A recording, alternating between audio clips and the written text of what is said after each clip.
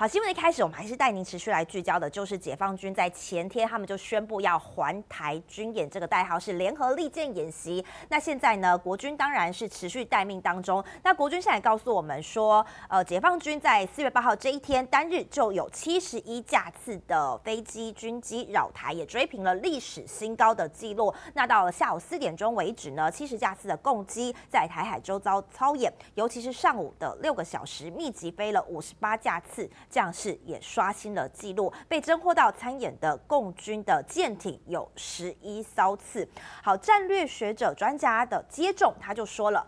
解放军机出动的数量可以说是声势浩大，因为光是呢八号这一天的白天，可以看到就有二十余架次的战机在新竹的外海，然后台海中线的最窄处跨越中线，好，我们台海中线再次不见了。再加上解放军呢第一时间的海空人员过往不时会出现非常危险的行为，这一次军演虽然说强度。跟去年八月比起来是没有这么的强，但是呢，发生意外跟擦枪走火这样的风险还是一定不可以掉以轻心哦。那我们来看一下，我们现在空军的部队呢，当然是全天待命，不过就被发现说，哎，怎么手臂上的这个。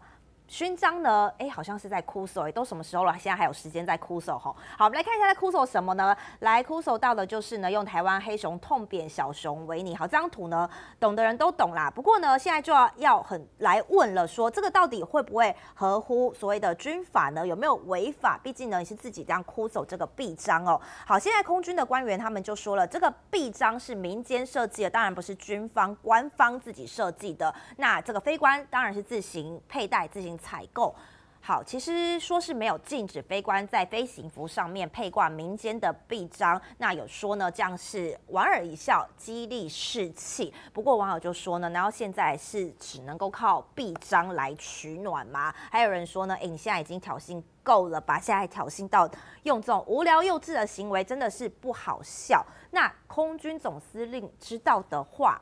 会不会其实心理上也觉得说这个军方都已经到什么时候了，还用这样的臂章来挑衅，用这样的臂章来做文章？会不会其实对于哎我军的一些表现上面，可能也会有一些些的疑虑呢？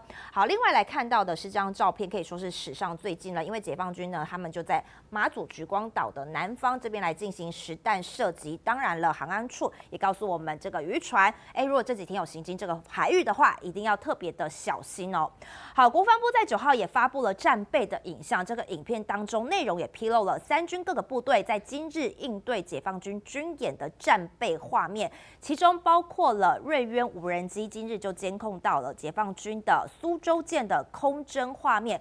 国防部表示，面对东部战区持续在台海周遭演习，也冲击到的我方的是区域的安全，国军始终是冷静以对，以训练为着眼，应处敌情，地面。部队落实正常的战备演训，陆基的防空飞弹跟制海飞弹部队都有提高警觉，秉持着不升高冲突、不引发争端这样的原则来适切应处。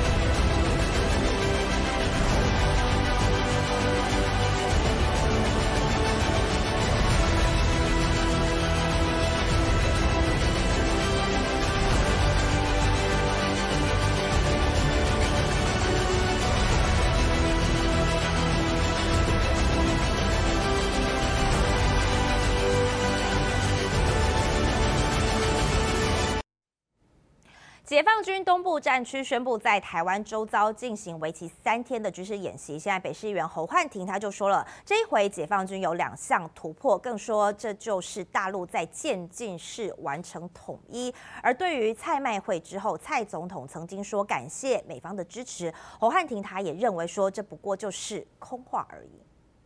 在这一次的所谓环岛军演当中，我认为呢有两个突破。第一个呢，因为也到了台湾。东部嘛，它台湾东部的这一些这个军事演习，包含了第一个重要就是拒止的作用啊，防止台湾呢跟外部的势力哈，就是其他的这些国家的各种联合。那第二呢，就台湾我们长期总认为说，哎，在这个中央山脉以东呢，是一些比较安全的地方，好，或者可能一些的军事基地啦，或者一些武器啊，可以放在中央山脉以东，好，东部可能比较安全。可是呢，又整个人家都把它围起来了，对吧？那航空母舰呢，也可以在这个台湾东部了，所以等于是所谓的安全区已经都被打破了，是四方都被包围。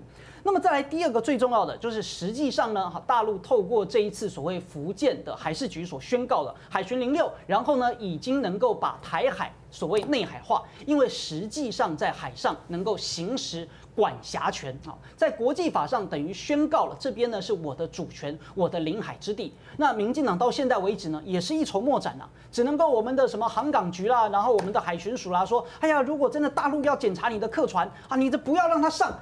讲这什么废话？那你拿出一点实际的帮忙嘛，对不对？那你你觉得现实吗？一点都不现实。这等于是把责任啊，把这个锅呢丢丢给那个老百姓去背。所以实际上呢，大陆是在执行这叫做渐进式的哈完成统一的局面，就把所有的制海权、制空权，或者大陆所称的叫做制信息权呢，通通都在透过实战化的训练而逐步掌握。